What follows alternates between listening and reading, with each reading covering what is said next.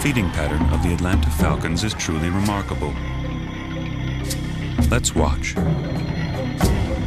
The leader collects the food and distributes it amongst the group.